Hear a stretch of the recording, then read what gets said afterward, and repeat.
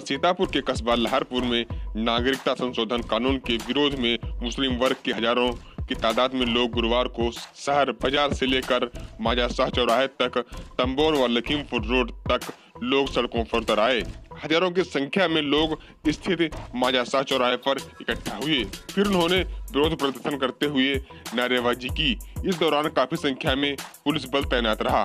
वहीं प्रदर्शनकारियों का कहना है कि नागरिकता संशोधन कानून धर्मनिरपेक्ष संरचना के लिए खुली चुनौती है। भारतीय संविधान का उल्लेखन है, यह हमारे मौलिक अधिकारों का हनन करता है, इसलिए इसे किसी कीमत पर स्वीकार नहीं किया जाएगा।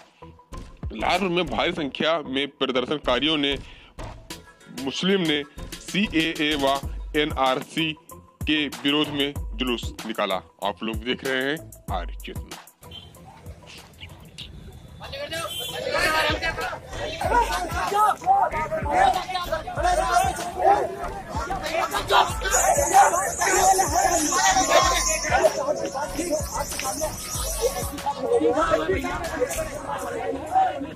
कानून आप लोगों का कानून जनता आम आदमी को मारेगा